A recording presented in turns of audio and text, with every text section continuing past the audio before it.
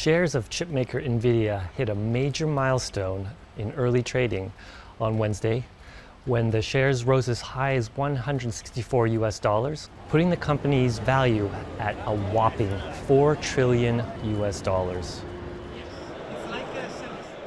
This surge in the share price has been driven, of course, by the wider AI boom that was kicked off just over two years ago.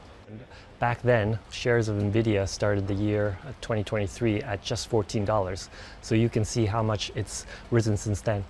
Um, that's about the same time that ChatGPT was making its debut to the world, taking everyone by storm, ca capturing everyone's imagination.